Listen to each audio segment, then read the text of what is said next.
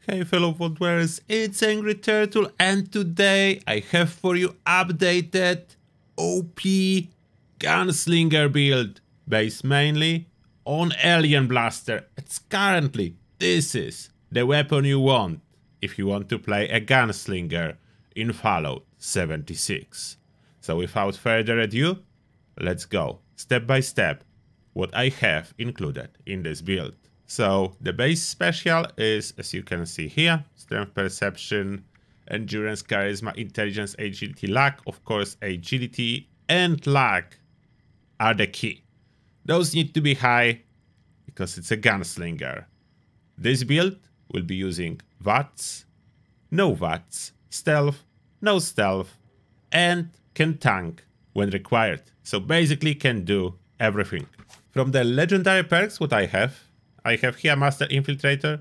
This one can be skipped or changed for whatever you need. The key ones are special, total of 3, luck, intelligence, endurance. You can of course swap for any other 3 special and adjust the base distribution accordingly. After that we have follow through for extra damage and Funky Duds for tankiness. And yes, I have those upgraded to the maximum if you don't have enough points, you are not so high level, what you should focus on is legendary luck. This is the one that you will need first. Intelligence, endurance, and all other perks you can live without or with much lower. The luck is the one that will be needed early. Now the perk themselves. So we want this build to perform in every situation. Therefore, there is blocker for extra tankiness when it's needed. There is Traveling Pharmacy to have some stimpaks to use wherever necessary. Under Perception we have Tank Killer as this is working with pistols. We have Concentrated Fire as semi-automatic weapon. Alien Blaster benefits greatly from max out Concentrated Fire and I have one point in Pannapictagraphist as I like hunting on for magazines. It's not necessary, so you could skip this one. Under Endurance, Life Giver, Ironclad, Fireproof, and Radicool. If you don't have enough special, just skip Ironclad, you will save 5 points in here. Life Giver, Fireproof, and Radicool, I would keep. Radicool not essential, this one is just for carry weight for me. Fireproof and Life Giver, those are essential, 7 points. Then Charisma, Strange in Numbers to boost your mutations, Tenderizer to boost your damage. After that, Intelligence, First Aid. This is great when you need this Stimpak. You know that whatever Stimpak you have in your inventory, it will work great. Especially important in daily ops decryption when enemies really hit hard. Then you have Nerd Rage with extra damage when you are bloodied. And Demolition Expert, yes, this card boosts damage from Alien Blaster, so it's a must. If you want, you could skip First Aid. This one is optional. As long as you will be able to stay stealthy, you don't need stimpaks. Under Agility, we have Modern Renegade, which helps a lot if you want to play without VATS, as this one improves hipfire accuracy, as well as let you cripple your enemies. Master Gunslinger, rank 1, then there is Gunslinger, Max Out, and Expert Gunslinger, rank 2. The reason for that is that I have 6 points to invest into Gunslinger, and no, going for Max Out Expert Gunslinger and skipping Master is not a good option because as you can notice, the first rank is 10% and then every upgrade is just 5%. So you never skip a card, you just rank some of those cards lower. Born Survivor for tankiness, auto stimpak usage, very handy. Escape Artist, that's all you need for stealth if you are running unyielding armor. Adrenaline for extra damage, and Dodgy for extra tankiness. Yes, there is a conflict if you want to use VATS and be tanky with Dodgy, it doesn't work very well, but in our case, Dodgy is here just in case, as you can sneak, therefore you are not taking any damage and Dodgy is never triggered. If you get detected, Dodgy can save your life and Alien Blaster can be used very effectively without VATS. But that will be rare. Situation when you cannot use VATS will be very rare. Then Underluck Grim Reaper Sprint, one of the card, thanks to which you can use VATS almost always. Action points will refresh very quickly with kills. Better criticals for extra critical damage. Serendipity again for tankiness. It is as well a very good combo with Dodgy. Whenever Serendipity will trigger, Dodgy will not trigger because you are not getting hit. So there is less AP drain. After that Curator, this one is not essential. It's just for me if I'm using bobbleheads and I want to have 15 luck. You could skip it, run with 14 luck, maybe have some luck on your armor. Starched Genes to keep your mutations, Critical Savvy to pull a critical every other shot. And those are the cards. Now mutations. So mutations for this build as we are playing low health, adrenal reaction, bird bones for extra agility and reduce fall speed, eagle eyes for extra crit damage and perception for accuracy. We are paying penalty in strength, but that's okay. Strength is just for carry weight on this build. Egghead for extra intelligence. Not essential, but helps you passively get more experience. Herbivore, because we'll be using the easy food. Herd mentality. Always, always join a team and you will get free to your special. Marsupial for extra high jumping. Scaly skin for extra tankiness. Yes, it does cost a little bit of AP.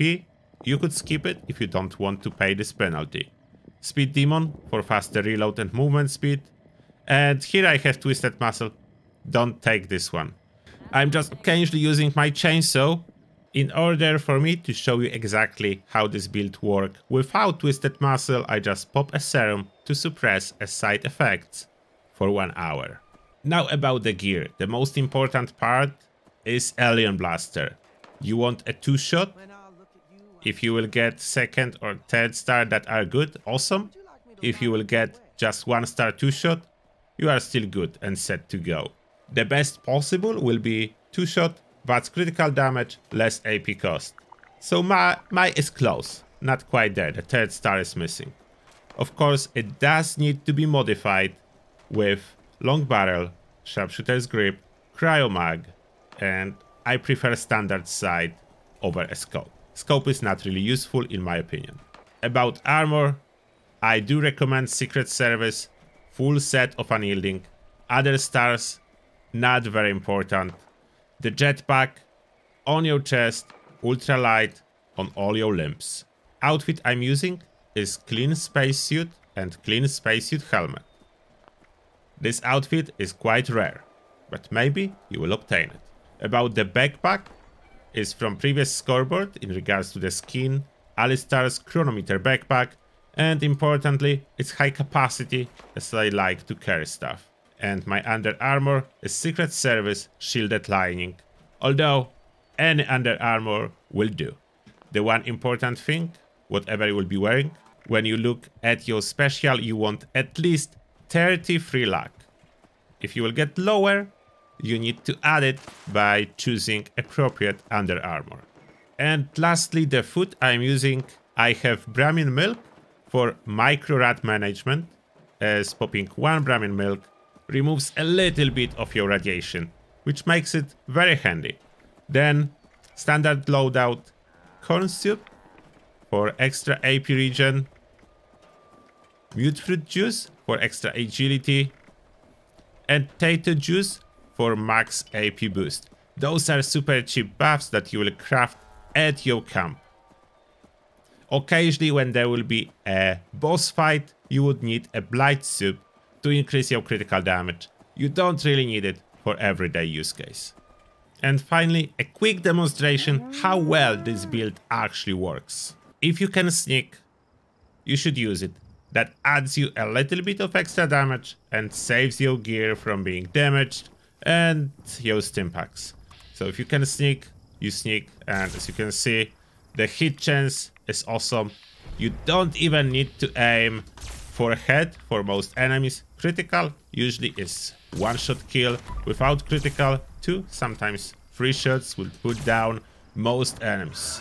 As you can see, very efficient. The VATS accuracy goes up real quick, so you can snipe as far as you can get your VATS to trigger. Now in case of Scorch Beast, if you aim for the head, hold your critical button, it will do a quick work even out of 3 star legendary Scorch Beast. And usually you should have enough AP to unload like a full 30 rounds from Alien Blaster with one go. The only limitation is how fast can you pull the trigger or if you have those fancy controllers with turbo button. And that's as easy as it goes to eradicate enemies. If you cannot use VATS and you need to tank. Oh, and just one quick tip. I have my Brahmin milk on the Hot Wheel, so then I can just pop it whenever my rads are slightly too high. So now if I need to go on those robots just firing, firing in front of me, I can absolutely do it. There is nothing stopping me from doing it. If I cannot use VATS, that's still okay. I can use VATS, but if for whatever reason those enemies would be invisible or something would block me from VATS usage, I just go and spam the button and kill them. It's as easy as that. You are tanky enough with this setup to survive almost any assault. There is really not too many situations when you can die. I can go and provoke all robots outside of Whitespring to shoot at me and as you can see my auto trigger pack from Born Survivor is able to outheal that. I'm taking damage, the damage is being healed, the dodgy is triggered but my AP regenerates fast enough that even though I'm using dodgy I still have AP to use VATS if I would need to. There are all those robots firing at me, two sentry bots firing at me, some gardeners, gutsies, some responders, everyone is firing at me and so far there was no need to manually use a stim pack. So the risk of death is really, really low. And in most case scenarios, zero. Now if I want to fight them without sneaking or using VATS, that's the power that this build can put out. All those sentry bots without aiming, without going for anything in particular, I can handle that. There is really not much that can stop you with this build. Don't know. I don't even know if there is any scenario I was able to beat any content. You can solo endgame bosses. Maybe I will do showcase later with some endgame bosses. As you can see, nothing. Nothing really can stop this build. The damage output is great. This is truly powerful build. And look how well it looks. It looks amazing. And is powerful. Two in one.